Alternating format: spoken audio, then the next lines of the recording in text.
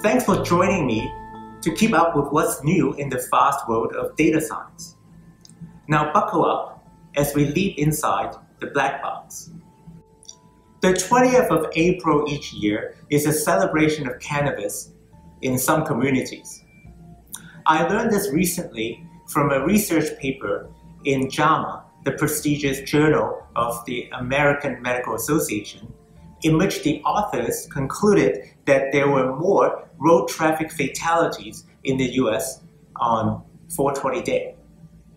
The tragic implication is that people who were smoking were also driving and getting killed in accidents. This research paper is being debated in the statistics community, and many of us think that the data analysis is simply wrong.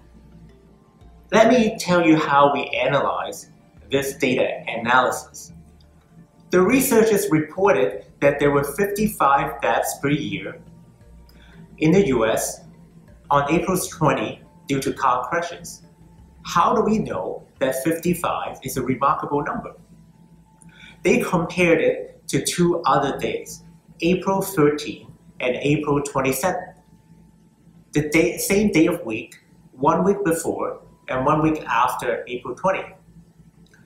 And they found that on April 20th, there was an excess of six deaths per year. Now, six is a really small number. Are we really sure that cannabis consumption caused the excess in accident fatalities?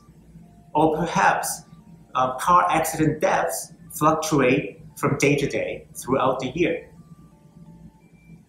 One way to answer that question is to ask, is there anything special about April 20? Two statisticians, Sam Harper and Adam Palayew, did all the heavy lifting for us. They applied the same analysis to every day of the year. So they compared April 19th to April 12th and April 26th and they compared April 18th to April 11th and April 25th, and so on. And after they did all the work, they learned that April 20 is not that unique. In fact, there were at least 20 other days of the year when the same analysis would have yielded at least six excess, excess deaths or more. So somebody else could have published a similar paper with the same finding, but for a different day. They would have just needed a different celebration to explain it.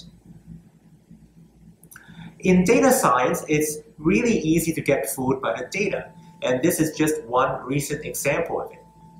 If you like this video, you can help us build our channel by sharing it or hitting that subscribe button.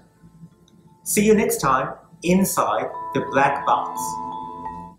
Principal Analytics Prep.